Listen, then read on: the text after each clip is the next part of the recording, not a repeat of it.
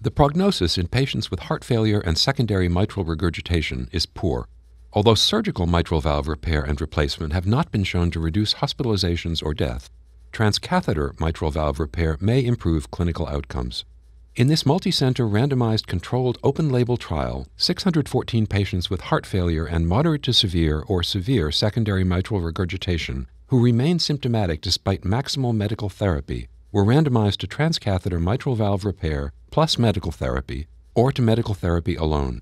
The primary efficacy endpoint was all hospitalizations for heart failure within 24 months. The primary safety endpoint was freedom from device related complications at 12 months. A key pre-specified secondary endpoint was all-cause mortality within 24 months. The annualized rate of all hospitalizations for heart failure within 24 months was significantly lower in the device group than in the control group. At 12 months of follow up, 96.6% of patients in the intervention group were free of device related complications, exceeding a pre-specified threshold. All cause mortality within 24 months was lower in the device group than in the control group.